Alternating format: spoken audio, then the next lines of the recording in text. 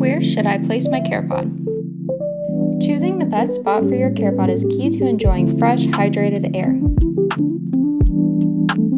Place your CarePod on a nightstand, table, or stool.